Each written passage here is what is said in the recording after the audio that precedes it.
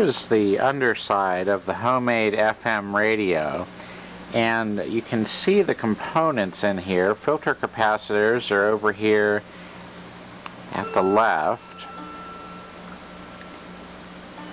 and then the IF cans are just sort of supported by the components. Now I've really improved my uh, wiring expertise since then. I know that if I made this today it'd be a lot neater looking but I made this back in, in 2001. And there was a comment on the YouTube video about the uh, FM radio of someone who wanted to see the underside of it, so I'm, uh, I'm showing that here.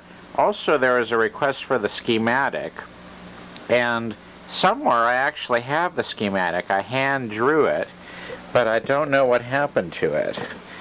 So sometime I'll have to try to scan that and, uh, and make the schematic available.